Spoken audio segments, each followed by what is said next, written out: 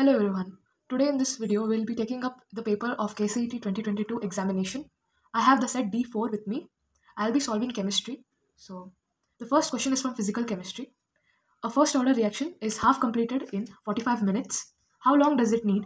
99.9% of the reaction to be completed. In the question it is given that it is a first order reaction and it is half completed. So T half is 45 minutes. So we know the formula for T half is ln2 by K.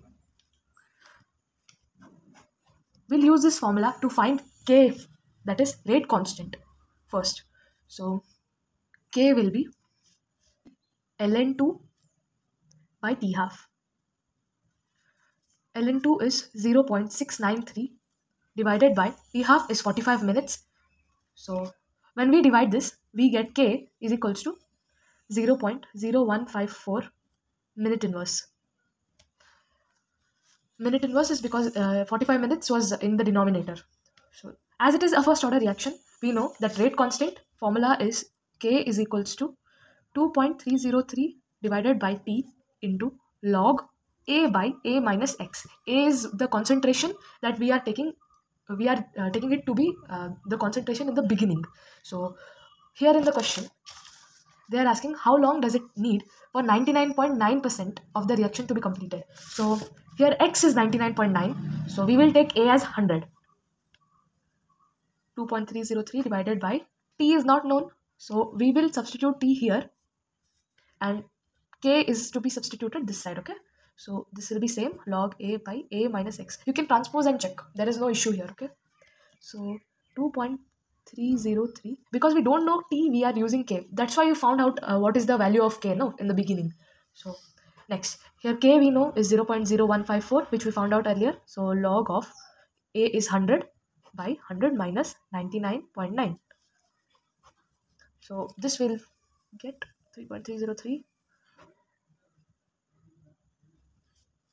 into log of 100 divided by 0 0.1. 2.303 divided by 0 0.0154 into log 1000. So log 1000 is nothing but 3, okay?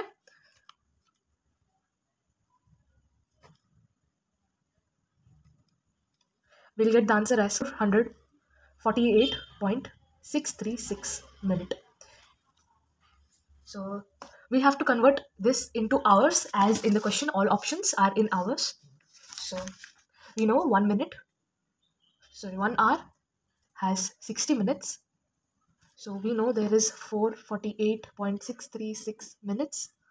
So cross multiply and find the answer using a unitary method. Okay. So we'll get the answer as, uh, like I'll show you how you can make it quick. Okay. This will become 448 we'll take it as just 448 divided by 60 okay? To make calculations easier as we have if we use decimals it will go lengthier nothing else.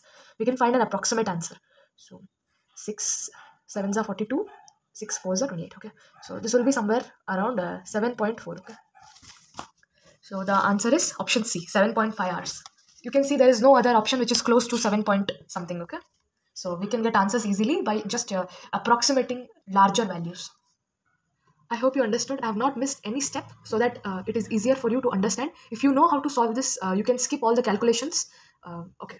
The question is not that lengthy. It is, I have elaborately explained all the steps. So it might uh, look very lengthy to you or it may seem that this video is going too long just with one question. But if you know the formula, the, you, then you will solve this question in just two minutes. It won't take more than that. Let's move on.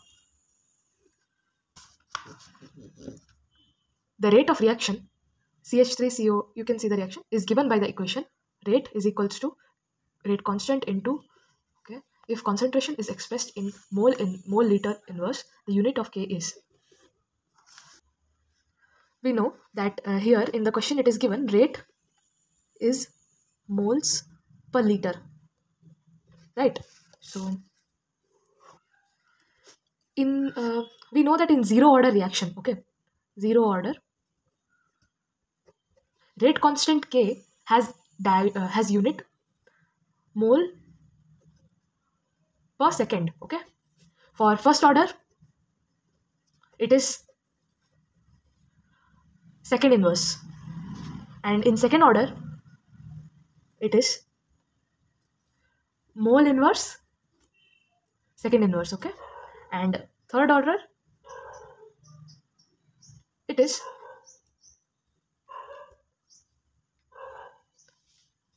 here I have left the liter part in second order reaction okay? Third order it is mole inverse square liter square second inverse okay? So these are the uh, units of all the uh, rate constant units for all order reactions. Uh, i want you all to memorize this as it will uh, help you in not wasting a lot of time in thinking uh, which order it is okay? So rate is equals to k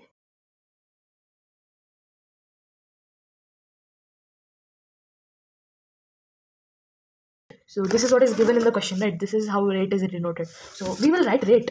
Rate is what? Rate is concentration by time, which is equal to K into this is what? This is also concentration. So this is concentration square, right? Concentration into concentration. Like both are concentration only, right?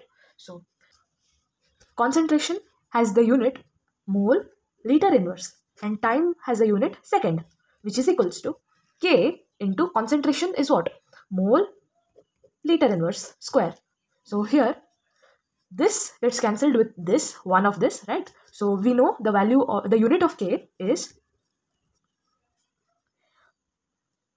liter mole inverse second inverse this is the required answer in second question we had to find the unit of k okay so we found out how, like we know that rate is given as K into this, which is also written in the question. So rate is nothing but concentration by time and K here it is equal to K into uh, the concentration of CH3CO C2H5 into NaOH. So this is also concentration. This is also we make like the units. We are using the units of the rest all uh, in the formula to find the unit of K. I hope you understood this. Okay. So we'll move on to the next part. Third question. So the third question is colloidal solution commonly used in the treatment of skin disease is this is theory based question. Sulfur is the answer okay? Uh, colloidal solution of sulfur is the correct answer as it has larger surface area and is hydrophilic in nature. Also it kills germs. So the right answer is um, colloidal sulfur. Now the fourth question. Specific conductance of 0.1 m HNO3 is 6.3 into 10 to the power minus 2 ohm inverse centimeter inverse the molar conductance of the solution is. So we'll solve this question. Fourth one. K is equals to 6.3 into 10 to the power minus 2. Ohm inverse, centimeter inverse. It is given in the question and C concentration is 0.1 m. Uh, molar conductance formula is uh, lambda m is equal to 1000 K upon concentration. This is there in NCERT everybody knows this formula as it is uh, mostly asked in board exams also. So we have to just put, put the values and we'll get the answer. Into 6.3 into 10 to the power minus 2 divided by concentration is 0.1. So this will become 6.3 into 10 to the power minus 2. So which is 630 ohm inverse centimeter square mole inverse. So this is the molar concentration. So which is option B. Let's move on to the fifth question. For spontaneity of a cell, which is correct? This is a basic question from NCERT uh, regarding the spontaneous uh, spontaneity of a cell. Uh, for spontaneous reaction, the delta G Gibbs energy is always negative. The formula of delta G is minus NFE and delta G has another formula which is delta H minus T delta S. So according to these formulas, if we see that for spontaneous, uh, for a reaction to be spontaneous, delta G is negative, which means um, delta H will be positive, and uh, this part will also be positive.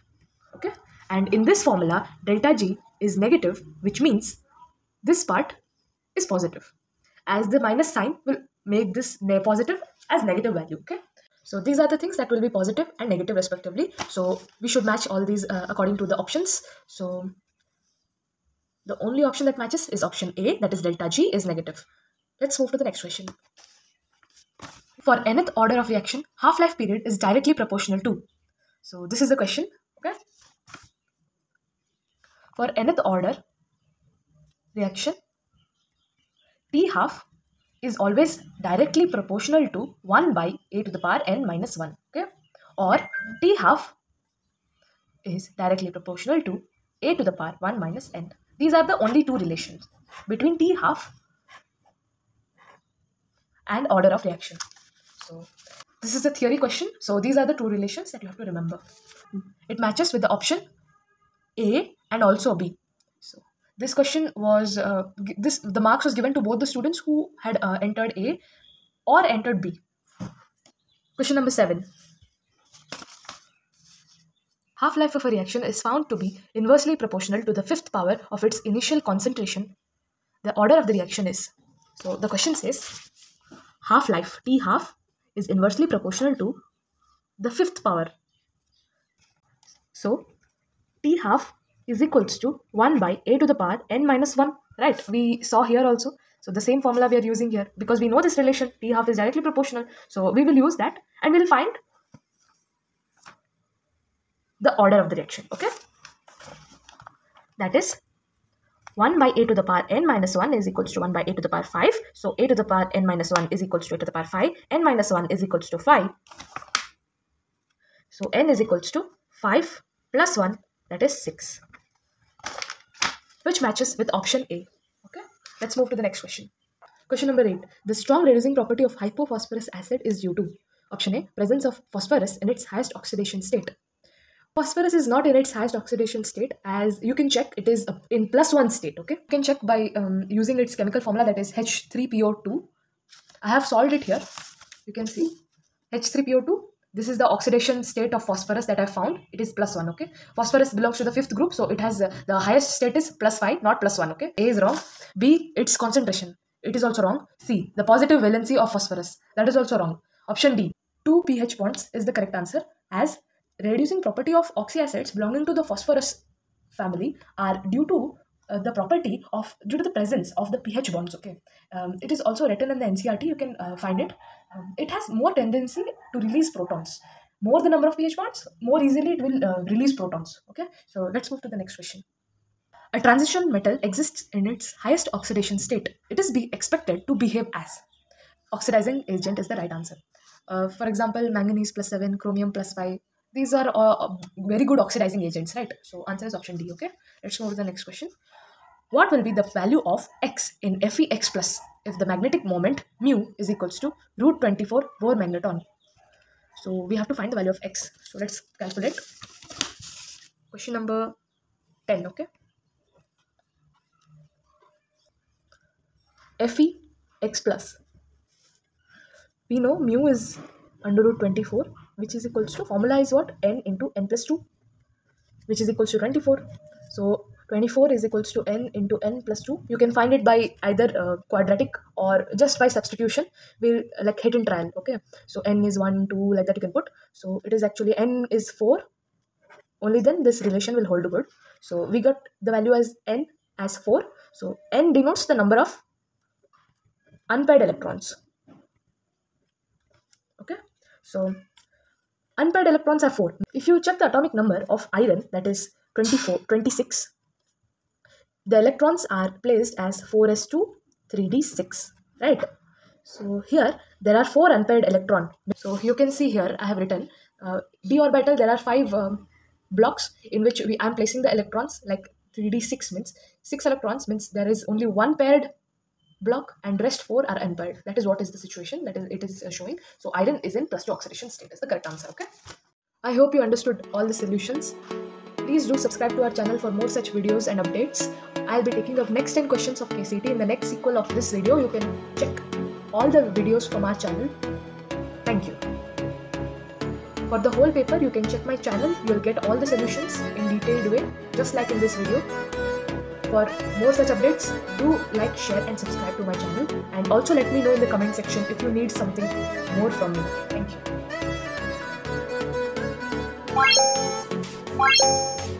Bye.